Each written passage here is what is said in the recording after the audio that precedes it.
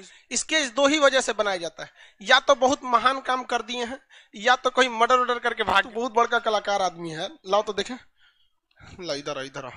आप सबकी ज़िंदगी में कुछ कठिनाइयाँ आएँगी ठोकरें लगेंगे लेकिन ठोकर खा के संभलना भी ज़रूरी है। ठोकरें खाकर भी ना संभला तो ये मुसाफिर का नसीब राह के पत्थर तो अपना फ़र्ज़ अदा कर चुके हैं। और कभी भी मुश्किलों से घबराइएगा नहीं। कोको कोला जब कंपनी जब स्थापना हुई थी तो एक साल में केवल इसके 25 बोतल बिके थे। कंपनी का दिमाग हिल गया था लेकिन आज के समय दुनिया में हर जगह कोको कोला बिकता है और इसने तो फिजिक्स को उल्टा कर दिया। लोग कहते हैं, ठंडा मतलब तो कोको कोला भाई साहब, ठंडा मतलब वो होता है जिसका टेम्परेचर कम हो। लेकिन इतना भी कहा कि इसके आगे लोग भूल गए कि ठंडा मतलब कोको कोला नहीं होता, ठंडा मतलब वह चीज़ जिसका टेम्परेचर कम है। इसलिए परेशानियों से कभी मत घबराइएगा। आगे बढ़ने के लिए तकलीफ़ का होना ज़रूरी है, क्योंकि छाँव आते ही इंसान के कदम रुक जाते हैं और धूप में कभी कदम नहीं रुकते। ज़रूरी नहीं कि हर चीज़ आपको किताबें और यूनिवर्सिटी में ही पढ़ाया जाएगा। बहुत सी चीज़ें हैं जो आपकी खाली पेट और खाली जेब सिखाएगी, जो आपको कोई टीचर नहीं सिखाएगा। कहते हैं, जरा सी छेद क्या हो गई मेरे जेब में? सिक्कों से ज़्यादा तो मेरे रिश्तेदार गिर गए। लाइफ में सबका स्ट्रगल होता है। हम लोग के भी लाइफ में बहुत बहुत तकलीफें आई थी।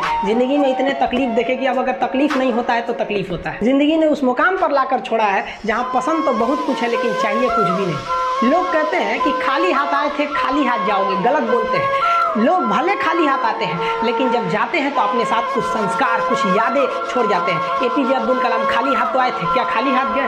हमारे जितने देश के लोग हैं, उन देशवासियों के लिए प्रेरणा के स्रोत बन गए लेकिन अगर आप खाली हाथ आते हैं और खाली हाथ चले जाते हैं तो आपका पुरुष योनि में जन्म लेने का कोई अर्थ ही नहीं बना। अपनी मंजिल को भुला कर जिया तो क्या जिया? है दम तुझमें तो उसे पाकर दिखा। लिख दे खून से अपनी कामयाबी की कहानी और बोल उस किस्मत को कि है दम तो मिटा के दिखा।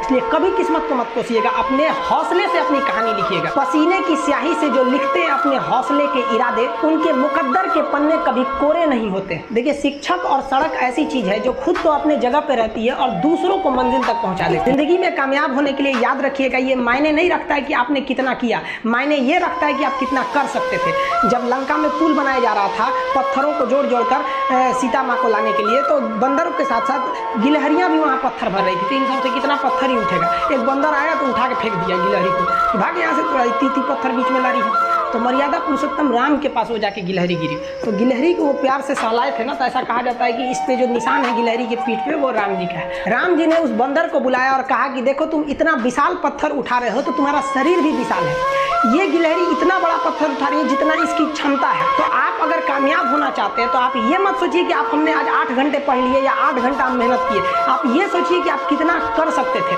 और देखिए, जो सपने देखते हैं, उनके लिए तो पूरी रात छोटी पड़ जाती है। और सपने पूरे करने वाले के लिए पूरा दिन छोटा पड़ जाता है। अगर आपके अंदर ज़िम्मेदारी है ना तो आप यकीन मानिए, आप चैन से सो नहीं पाएँगे।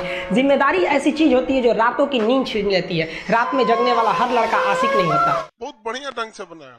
पैसा और समय में तालमेल बिठाना बहुत ज़रूरी होता है। पैसा कहता है कि तू कुछ करेगा तो हम आएँगे। जबकि लोग गलती करते हैं, लोग कहते हैं कि पैसा आएगा तब हम कुछ करेंगे। ऐसा नहीं है। पैसा कहता है कि तू मुझे आज बचा ले, मैं कल तुझे बचा लूँगा। पैसा बेशक भगवान नहीं है और ना ये आपके साथ ऊपर तक जाएगा। लेकिन पैसा जब तक आपके साथ है ना, तब तक आपको नीचे गिरने नहीं देगा। देखिए, पैसा जीवन में बहुत कुछ है, बहुत कुछ। लेकिन पैसा सब कुछ नहीं है। इंसानियत मायने रखनी चाहिए।